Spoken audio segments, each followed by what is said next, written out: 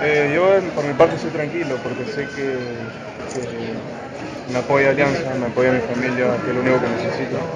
Así que con respecto a eso no, no voy a hablar de ese tema, la verdad no, no pienso hablar. Diego, Diego, Diego, digamos de que ha habido un tema de mala información por todo lo que se ha venido di- diciendo, ¿no? Por los tiempos que se han dado para dar los plazos y todo eso.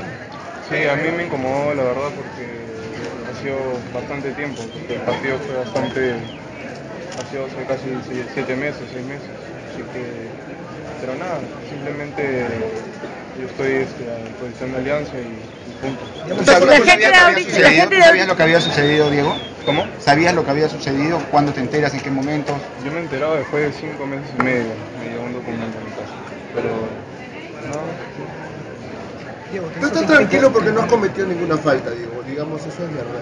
sí, por mi parte estoy tranquilo y creo que Alianza también está tranquilo por ese, por ese tema, por eso están dando todo el apoyo posible y, y, y nada, simplemente esperar este, la, Conmebol, cómo va a ser, si va a ser una llamada de atención o suspensión, no lo sé. En tal caso pedir,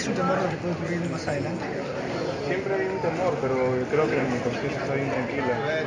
Yo no he cometido ninguna falta, no ha sido algo fuera de lo normal. Ahora, digamos que Lauri está actuando de mala forma por la, como se han dado las cosas. Eh, no quiero hablar de Laurich, la verdad.